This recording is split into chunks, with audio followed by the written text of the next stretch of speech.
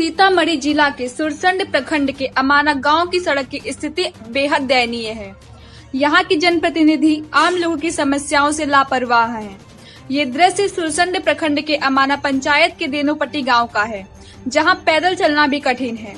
यहाँ के ग्रामीण कन्हैया कुमार, संजय झा एवं सैकड़ों ग्रामीणों का कहना है कि बारिश के समय सड़क की स्थिति बेहद दयनीय हो जाती है।